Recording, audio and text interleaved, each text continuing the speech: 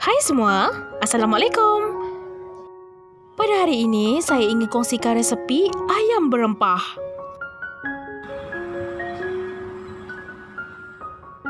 Berikut ialah bahan utama yang saya gunakan iaitu daging ayam. Daging ayam ni saya dah rebus terlebih dahulu. Uh, ini bergantunglah kepada anda Tapi oleh kerana saya suka ayam yang direbus dulu kemudian digoreng Jadi saya buat macam ni Kalau anda nak goreng secara langsung pun boleh.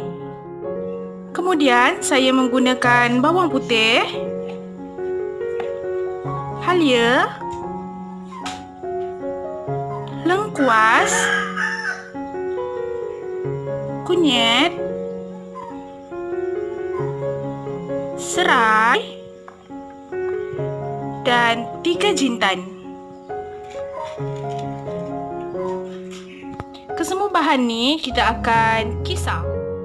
Selanjutnya saya juga menggunakan sedikit uh, rempah kari daging. Dan juga lada hitam. Ini tambahan saja kalau anda nak ikut boleh ikut. Dan satu lagi lada putih.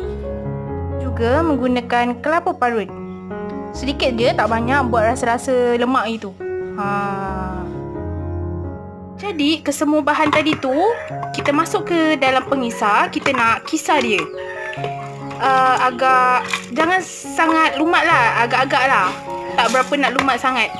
Agak kasar-kasar gitu.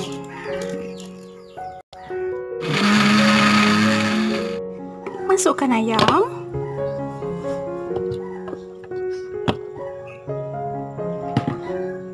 masukkan rempah-rempah tadi yang kita telah blend. Okey, bahan-bahan yang kita dah blend tadi macam lengkuas, kunyit dan sebagainya tu. Okey. Masukkan sedikit serbuk kari daging. Okey. Ah uh, untuk kuantiti ni sebenarnya bergantunglah kepada anda. Pandai-pandailah anda sesuaikan dengan selera anda. Jangan lupa masukkan garam. Juga sesuaikan selera dan juga MSG bagi yang menggunakannya. Yang tak guna boleh skip. Ah, jangan komplain. Okey, saya tak guna gula sebab saya tak suka manis. Masukkan kita punya black pepper sikit. Sesuaikan dengan selera. Kemudian masukkan lada putih juga sesuaikan selera. Lalu masukkan kita punya uh, kelapa tadi tu. Okey, masukkan.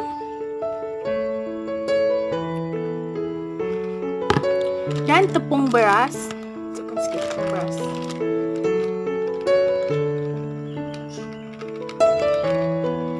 Okey. Lalu kita nak gaul rata. Gaul hingga ia uh, merata semua bahan-bahan ni sekata dekat ayam-ayam kita tu.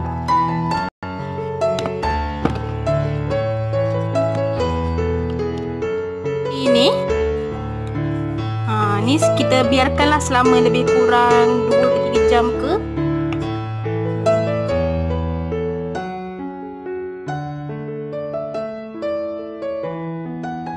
Setelah 2 ke 3 jam anda panaskan minyak seperti biasa, kita nak goreng kita punya ayam tu.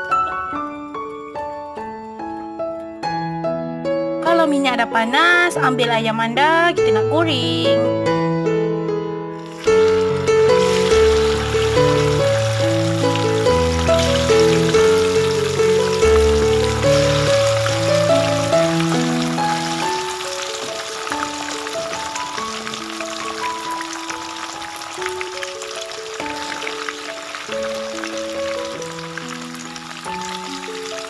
Okey, biarkan sehingga ayam anda sedikit kekuningan dan garing lalu masak dengan sempurna.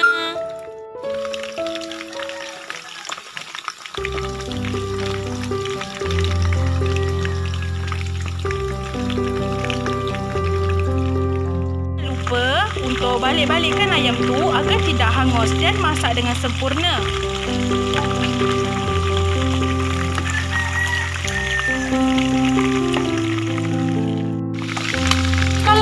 Rasa ayam anda sudah masak dengan sempurna, warna dah seindah macam ni, harum dah kiri kanan depan belakang atas bawah bau. Anda boleh angkat, toskan lalu siap untuk dinikmati. Cukup mudah kan resepi kita pada hari ini? Cuma bahannya agak banyak. Jom kita toskan.